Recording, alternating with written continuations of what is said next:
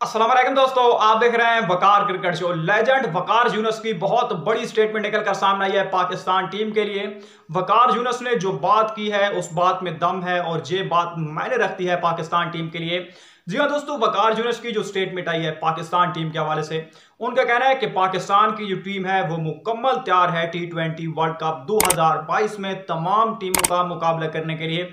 उनका कहना है कि बाबर आज़म से बेहतरीन बल्लेबाज इस वक्त दुनिया क्रिकेट में नज़र नहीं आता, जो तमाम फॉर्मेट में ज़बरदस्त किस्म की फॉर्म में इस वक्त चल रहा है। इसके अलावा उनका कहना है कि मोहम्मद रिजवान कैरियर की, ज़िंदगी की बेहतरीन, यानी कि उनकी जो फॉर्म है, वो इस वक्त है मोहम्मद रिजवान के पास। तो ये दोनों ऐसे बल्लेबाज हैं, जब तक इनका टीम के ऊपर साया रहेगा, किसी की ज़रूरत नहीं है कि पाकिस्तान टीम को हरा सके।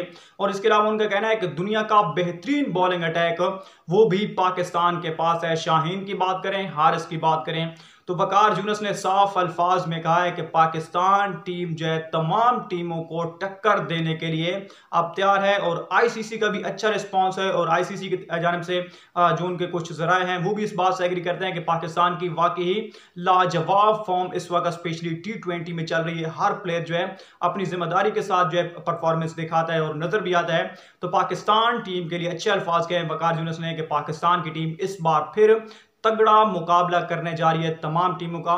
अगर आपको अपडेट चलेगा तो लाइक कर देना, चैनल पर पहली बार आए चैनल को सब्सक्राइब प्लीज़ कर देना।